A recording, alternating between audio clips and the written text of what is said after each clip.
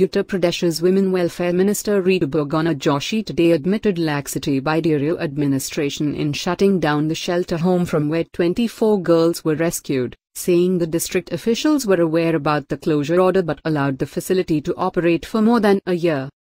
The admission of laxity by the state women and child welfare minister came a day after Union Minister Maneka Gandhi said she feared that there could be more cases of sexual abuse of minor girls at shelter homes. The 24 girls from the Deoria shelter home were rescued on Sunday amid allegations that they were sexually exploited. Another such case has came to light from Muzaffarpur and Bihar. In June last year, an order was issued for the closure of the shelter home and district magistrate was informed but it was not followed. At least 15 notices were given to the Deoria district magistrate for closure of the shelter home and shift inmates elsewhere. Five letter were sent from directorate level. Certainly, there was laxity at local level, Ms. Joshi told reporters.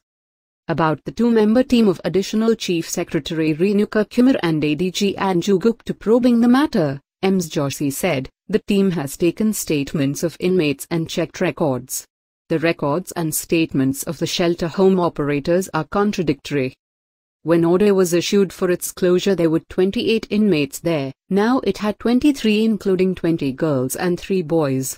The records of the NGO says they had 42 inmates. The attempts are on to trace remaining ones. It will be done in next 24 to 48 hours, she added.